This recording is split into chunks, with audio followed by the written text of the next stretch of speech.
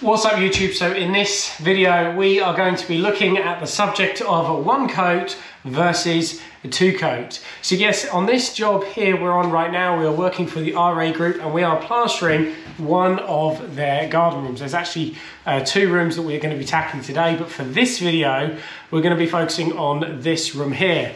Now the plan is that what Louis and I are going to do is Louis is going to apply uh, two coats of plaster in the traditional method and see how it comes out and the timing. And then I am going to apply one coat of plastering and sponging it and then see how that comes out and also see the timings of the two and see if there's much difference in it see which one is better. But to show you the job that we are on right now I'll just take you off the tripod so you can see this is the room so it's pretty standard. Uh, just before anybody asks, because the last time we did a garden room, everyone asked if I was about seven foot tall. No, I am not. I am six foot two. And at its highest point, you can see it's obviously got a slight uh, lean to it. At the highest point, it is 2.2 meters, which is nice because it means we don't need to use a hopper.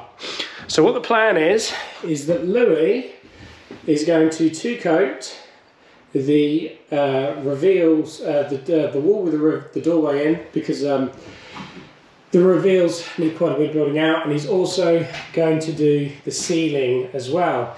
Now what I'm going to do is I'm going to do these three walls here using a one coat method. Now it's very important to remember if you're one coat plastering that you have to sponge. That is really important. It will look horrific if you do not use a sponge float when you're one coating. So that's what we're gonna do. What we're gonna do is we're gonna mix up we're going to mix up two and a half bags of plaster. It will be slightly thicker because the important thing when it comes to one coating is you have to be able to apply the thickness of two coats, which is around three millimeters, uh, in one pass. So that's what we're going to do. It will be ever so slightly stiffer. It won't be a big deal.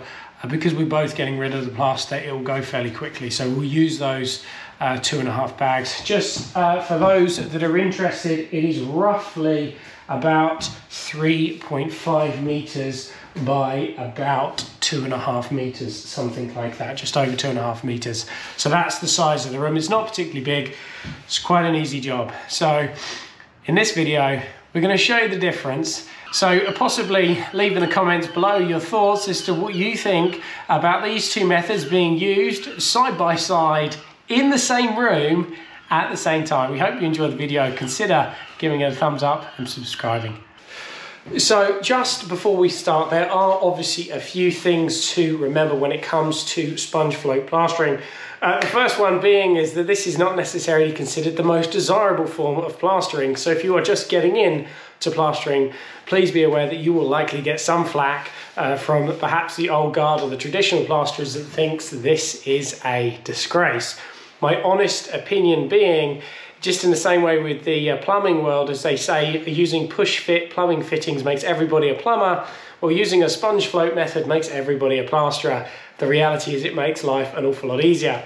The next thing to remember when it comes to sponge floating is that you need to mix up your plaster a little thicker, so therefore you will have less time on it. The next thing to remember is that you will not be able to put on as much meterage as you are two coating. The uh, third thing or fourth thing, I don't even know where I'm at right now, to remember is that it is so important when you are sponge floating, you have to really get rid of those sponge marks. You cannot leave any sponge marks left over. It will sharpen the paint, it will look horrendous. Another thing to remember is that really you do want to use a, a, sprayer to wet down the plaster. Unfortunately, yet again, I've forgotten mine, so I'll be using a splash brush a bit later, which is a little bit annoying. And the last thing to remember, as I've already said at the start of the video, is that you are looking to apply the thickness of two coats in one pass. This does take a little bit of practice. If you're struggling with this, certainly if you're new, the easiest way to do this is actually just to apply the plaster on all your areas and then just go straight over it again. Um, hopefully I shouldn't need that. I should be able to pull the three millimeters straight away uh, in one pass. But if you are struggling with the thickness, just go over it uh, straight away. So they're just some uh, small things just to, to, to have a think about, just to remember uh, before you start tackling one coat plastering. But what we're going to do is we're going to mix up those two and a half bags right now and we will catch up when we are applying the plaster. Okay, so the first thing that you have to do when it comes to one coat plastering is that you fill out all of the low areas first. So in this particular case, it'll obviously be all of the tape work. Now, uh, these boards are actually tapered edge, so obviously I'm going to fill out the tapered edge. And then where the boards are joining here, um, I'll also put a tight coat of plaster over those as well before I start doing my normal laying on. If you're doing any beadwork, you would also fill out the beadwork first as well. So that's what we're going to do here. So unfortunately there is a light right in the way. So that's going ruin the saturation on the video a little bit, but what we'll do is just go to the tapes just very quickly fill them out like so.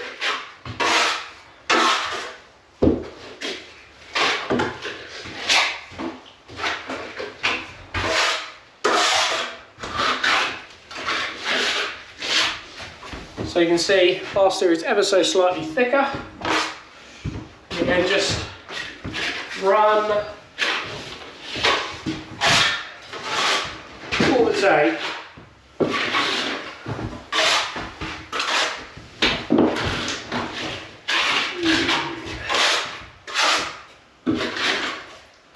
Doesn't need to be pretty in any way.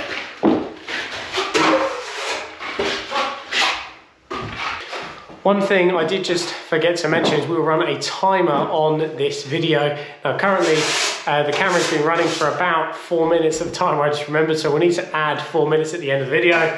But if we press start on the camera, uh, on the phone, sorry, and we will see what the timing is at the end of the video. Okay, so now all of the tapes are completely filled out. So what we're gonna do is we're just gonna carry on and we're gonna just lay on these three walls nice and thick as we would normally any other set. So we're gonna start that now.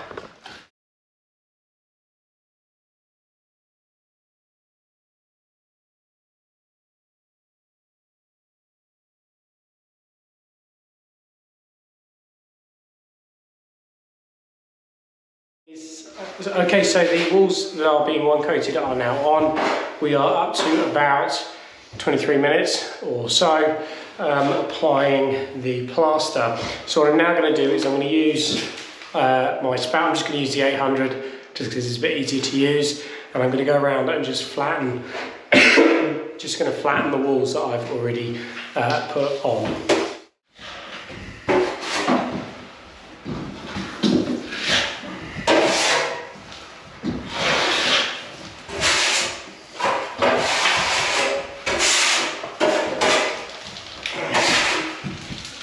Again, a reasonable amount coming off the wall.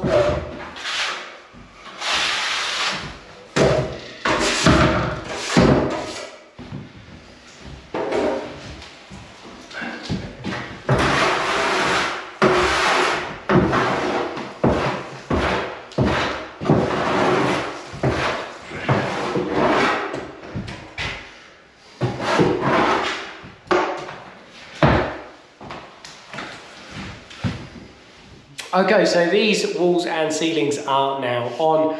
Uh, what I did off camera is I actually flattened the uh, one coated walls again as it's pulled in a little bit, but also uh, flattened Louis' walls and ceilings for him as well. And the time currently is uh, 42 minutes. So uh, these walls now, uh, certainly the walls that are one coated, that is it, there's no more applying of plaster. What we'll then do is we're just going to wait for this to pull in so it just uh, dries a little bit so the top is just a little bit greasy and then we will be uh, sponge floating that. Lou doing something very similar in that he will be waiting for his plaster to pull in a little bit. Um, again, wait for it to little bit, go a little bit greasy and then he'll be knocking up a little bit extra to lay down that second coat. Theoretically, Louis should pull in a bit faster as Louis should be a little bit thinner, saying that the uh, door wall, uh, the beading um, the plaster where the beading is, is on a little thick, so that might take a little bit extra time.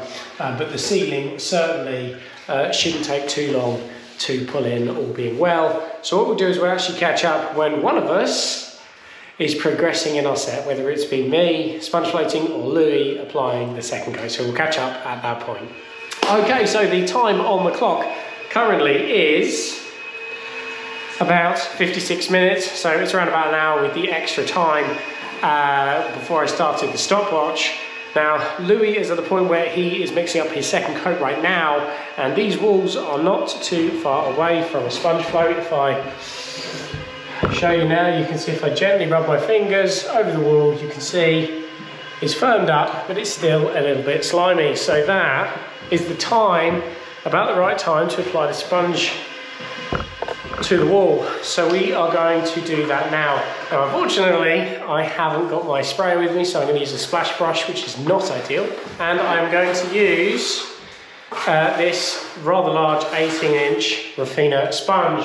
So what I'm going to do is I'm just going to put water on the wall, like so.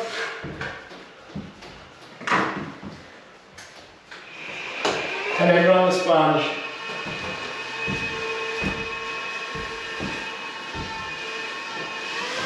Like so. Big sponge is very nice because it makes life a lot quicker. It's a lot easier with a big sponge.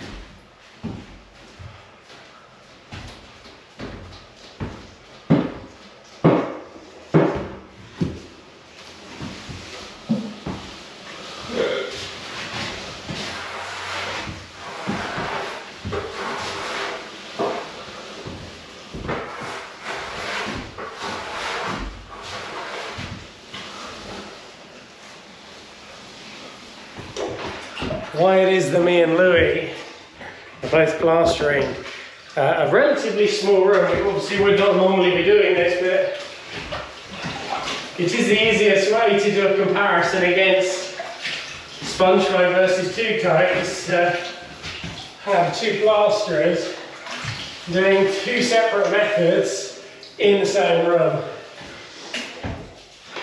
And these garden rooms are pretty easy, so if anything goes terribly wrong, uh, for Louis, I can always step in. Is that right, Louis? Yeah. Sure is. You'll have to excuse Louis.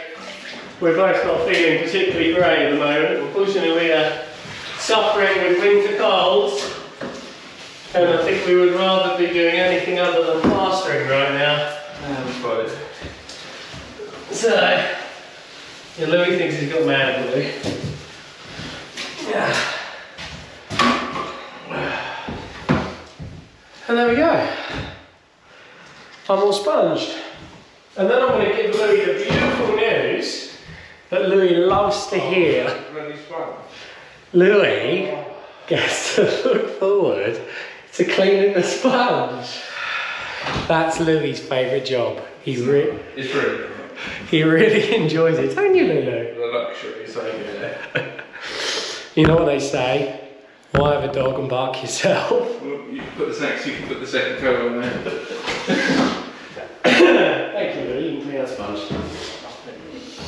Okay, so now um, that's been sponged. Now, as I already said, you wouldn't normally be able to flatten it straight away. You'd have to leave it two or three minutes, let the water dissipate off the wall. Because this was done with a splash brush and uh, a sponge, there's not that much water on there. And the plaster was a little bit wetter, knowing I wasn't going to be applying that much water, so I can hit this straight away.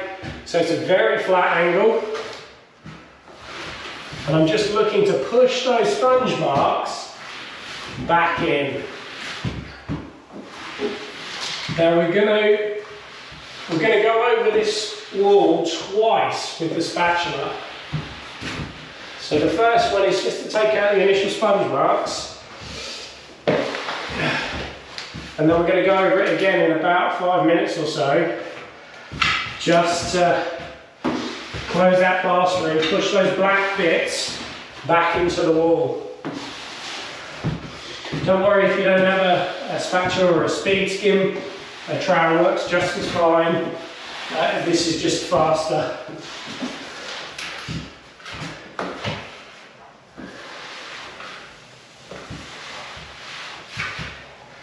So the concept behind using a sponge float is it's almost like you're giving it that second coat by reactivating that top layer of plaster. So you've got the plaster that's touching the board or the substrate, that's pulled in obviously. Naturally the plaster touching the paper, naturally that will dry faster. And then the top millimetre or so, because we've re-wetted that, um, that will now be slowing or drying at a slower rate. That's the theory behind it. I'm not any kind of scientist or anything like that, but it's got merit to it, so and it works, so I don't really care. You, uh, you do get a lot of plasterers that go on about the fact that it weakens the bond and blah blah blah blah blah. I'm going to be totally honest with you. That's above my pay grade.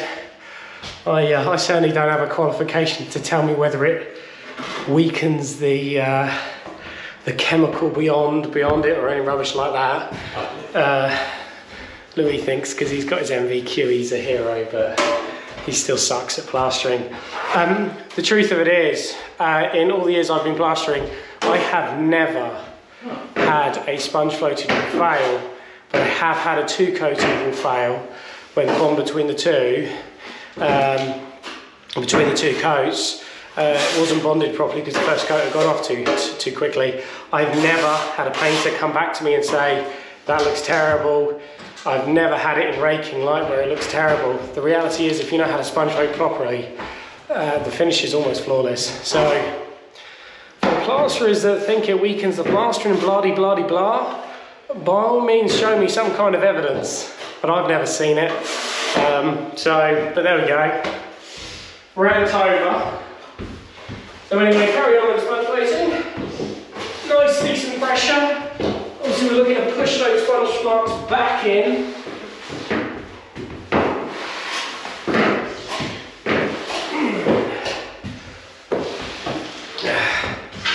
Now I was also thinking about it as well, I've had a few plasterers say on the channel as well, um, British gypsum British gypsum don't recommend using sponge floating or one coating. It says do that on the bag and all that rubbish. Do you know what really makes me laugh about that?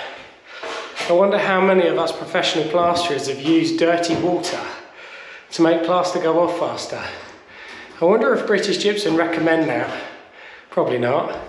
I wonder how many of us have put cement in bonding or Hardwall to make it go off quicker. I wonder if British Gypsum recommend that. It certainly doesn't say to do that on the bag. Or perhaps using products like half time or extra time. Does British Gypsum recommend doing that? Does it say that on the bag? I don't think so. The reality is we use all of our experience as plasterers to get the most out of the product we're using. It's just some methods we happen to like and some we don't. Um, and there will always be some that don't like one coat and sponging. Mainly, I think, because you can do a lot more meterage in a lot less time and earn a lot more money.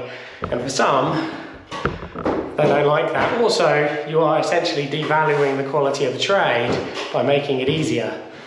But the reality is, if the technique works, who cares? Uh, Okay, so my walls are now all spattered down. I've actually run the spat over them twice. And the time on the clock is 1 hour and 17 minutes. And if we were to have a look at the walls, uh, Meanwhile, Louis is still. There that's a bit better light. Uh, Louis is still applying the second coat of plaster.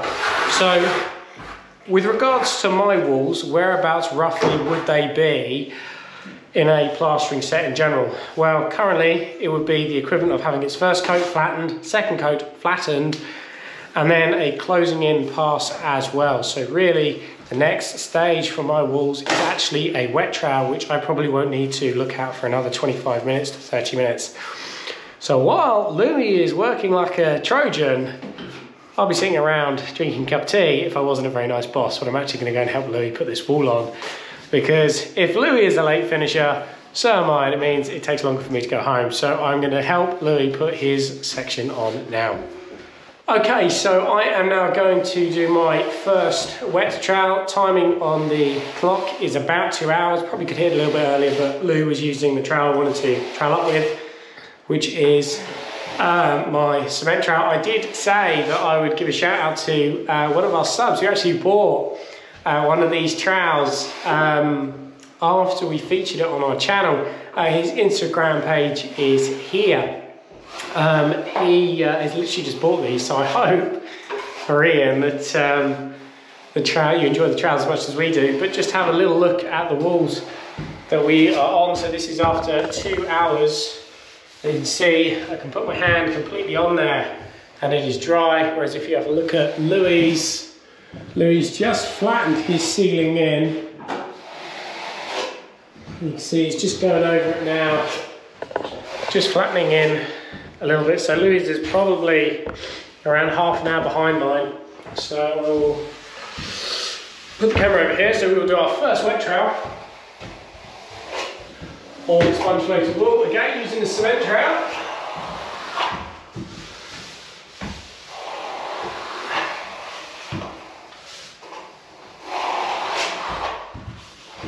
Uh, you can go straight onto a flexible trowel using a sponge float.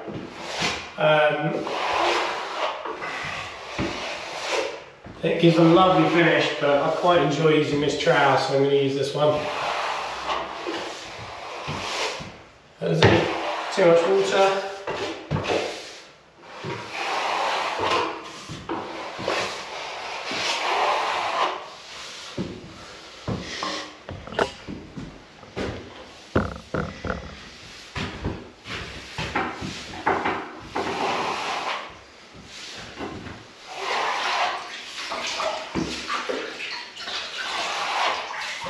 Nice flat angle. Be careful on those corners. I've just run a twitcher um, in the corners about 10 minutes ago.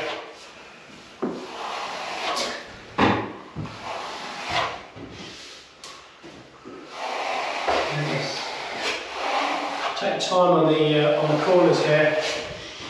I don't particularly want to drag any of uh, Louis' wool into the onto mine.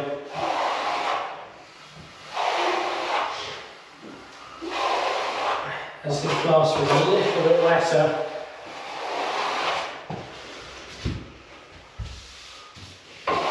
Also find when it's been sponge floated, you don't get quite as much drag off. You don't quite get so much fat coming off, it's maybe just the water, dirty water. So pushing pretty hard, fairly flattening them. Don't really need to do an awful lot with the plaster.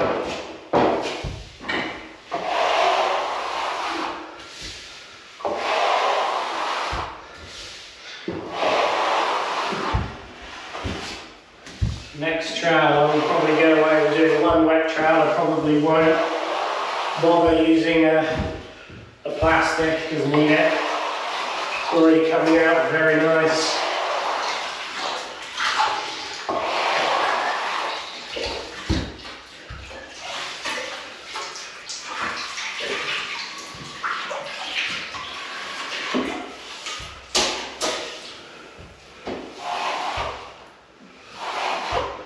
Okay, so these have now had their first wet trowel, and to be perfectly honest with you, Doesn't really show in the light, but they are coming up very, very nice.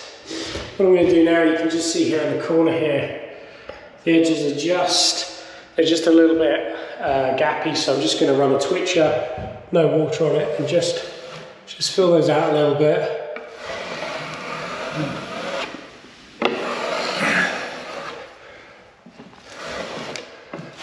Plaster's gone really quite firm, so should be able to quite comfortably put some decent pressure on the uh, trowel, the corner trowel, and not worry about leaving any grooves. Comes over here.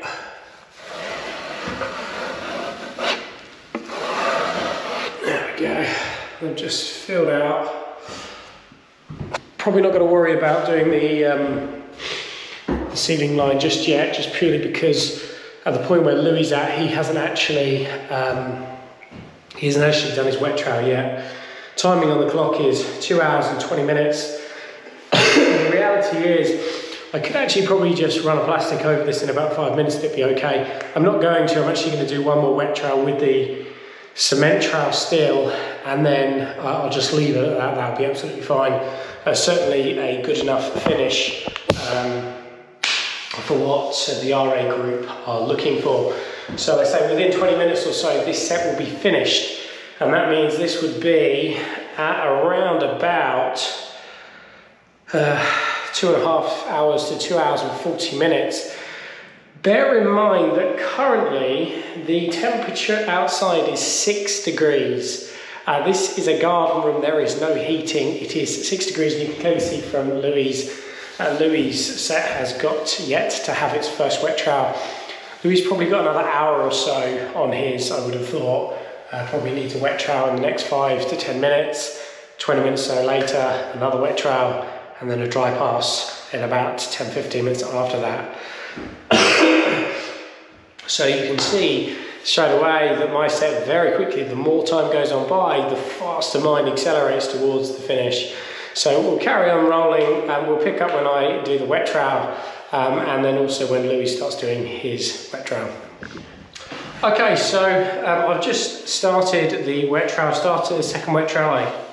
Okay, I've just started the second wet trowel. I've done the wall that is uh, behind the camera. I started around about two and a half hours. So I've just got these these next two walls to finish and this wet trowel will be a cross trowel. So they say it's around about two and a half hours. Louis just starting his first wet trowel, rather he's just finishing his first wet trowel to got off camera. It's a nice aggressive angle. I'm still using that uh, cement trowel from Marshalltown. Uh, was quite nice is that um, when this is all finished, I'll, I'll show you the wall under raking lights. And you can see the finish that you can get. You can see the finish you get even with a brand new trowel. So lots of angle.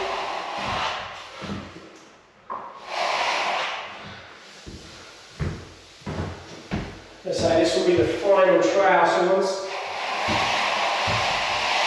once this one's finished, uh, I won't do it anymore. We will do a wet trowel, uh, second wet trowel on here for about 20 minutes or so.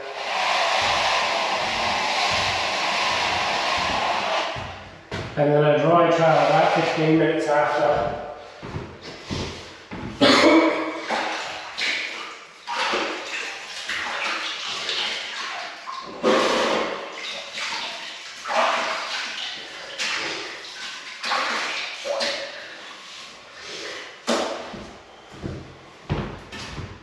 I don't know how well it's coming up on the camera, but yeah, it's come out very nice, very flat. As you'd expect.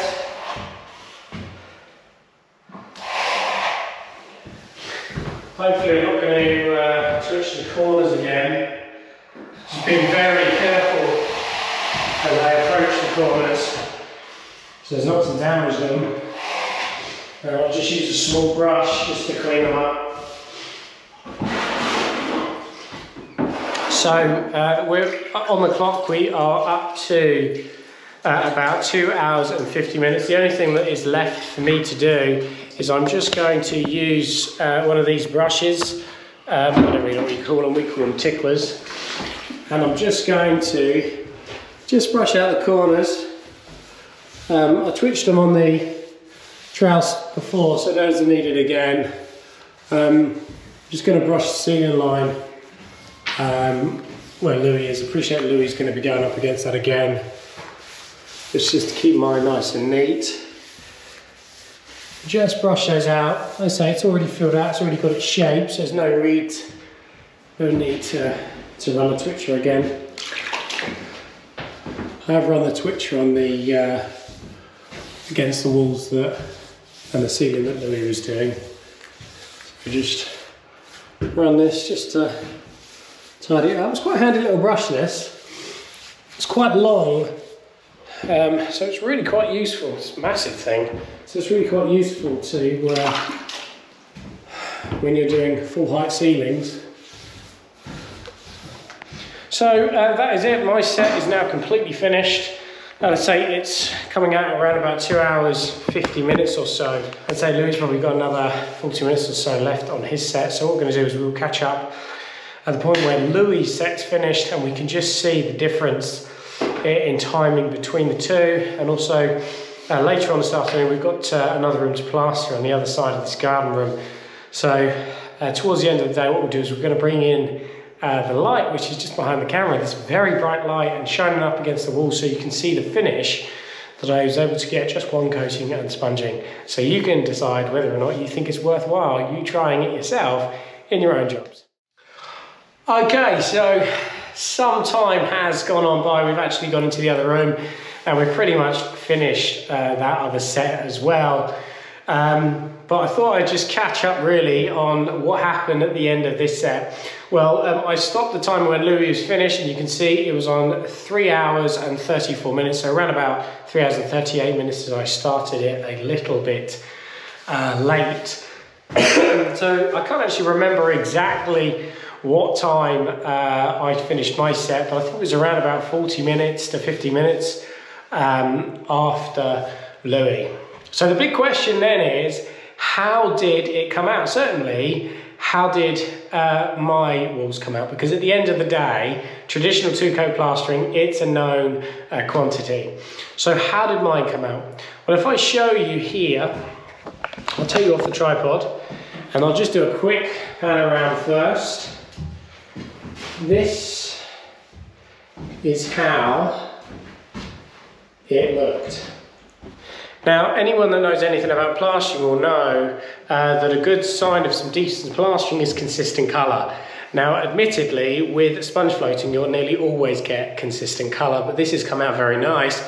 But as promised, I said I'd actually put raking light on the wall so you can see just how good or how rubbish Alex Morley is. So Louis is going to hold the light up side on to the wall.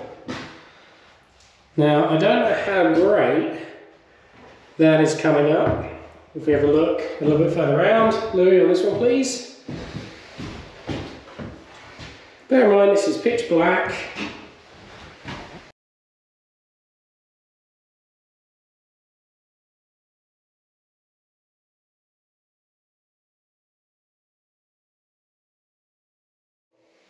But anyway, that really is it. There's the difference between uh, one coat versus two coat. Uh, I'll leave it to, to you to decide whether you think it is any good or not. But in reality, what are the pros and the cons? Well, without a doubt, the biggest difference is the timing. Like I say, uh, these were both put on at the same time, um, in the same room, in the same conditions, and two coating lasted, it took around about 40 to 50 minutes, I think it was, longer to complete. And unfortunately, as the viewers at home, you cannot see properly how the walls came out, but they are silky smooth. And that, as I've already mentioned, was using a brand new trowel, that new cement trowel from Marshalltown that we're testing out. No doubt if I was using my uh, six-year-old, five, six-year-old carbon trowel, which is fully broken in, possibly the results would have been even better. So one of the big pros being that it is a little bit quicker. Certainly as well as if you are a novice, um, it's a bit easier as well. Uh, certainly you'll notice uh, on the walls in the videos that you saw there's no tiger marking at all. Uh, that is one of the big things that you gain when you sponge float is you don't get any tiger marks and you have very few, if any, misses if you pay attention to taking out those sponge marks properly. So there are definitely some big pros. What's the cons? Well, um, in reality, um, I could have actually probably put this whole room on on my own if I two coated uh, and use traditional methods. Um, however, doing one coat and sponging, because you're putting it on thick, it takes a little bit longer. You need to mix up more plaster. It doesn't last as long, so it's a lot harder to do much larger meters when you're doing sponge coating. Um, but when the sets are a bit shorter, certainly in the spring through to autumn months, uh, you can actually, uh, if you're quick, get three sets done in a day. Uh, between eight and four. Uh, it's not really something I tend to do personally. I work hard enough as it is. I don't want to add another set to my day, so two is enough for me. But it is um, a little bit of a plus when it comes to sponge floating, but then again, as I already said, you can get more meterage on with two coating. So anyway, there is a quick video on the difference between one coating and two coating. We hope you found it helpful. Possibly it might provide a bit more information on these two methods as to whether it's something you use in your own work. Thanks for watching, consider giving it a thumbs up and subscribing, and we look forward to seeing you on the next one. Thanks again.